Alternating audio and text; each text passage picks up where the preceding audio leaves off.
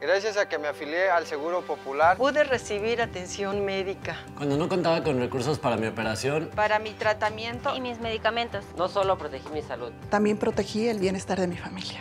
Igual que yo, afíliate al Seguro Popular.